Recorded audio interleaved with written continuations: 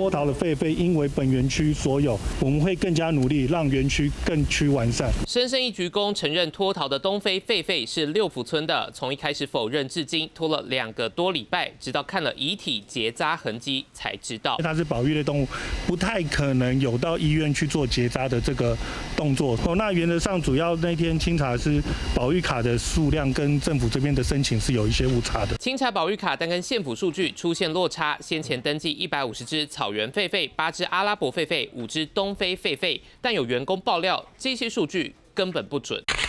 抛出照片，狒狒区围篱边的树木垂落，成了他们外出途径之一。最后是用食物将他们诱导回家。倒置五年发生八次以上，还说有外面的狒狒进来交配。三年多前族群结扎数量精算出两百五十只以上，一百五十只是造假数据，实际上根本没在清点。关系有很多狒狒在外面，只是当地老人都以为是大只的猕猴。六福村表示，针对狒狒脱逃及数量，一切得等清查结果出炉后确认。我们。不会相信，我们当然是以政府，呃，到到实际到县长去。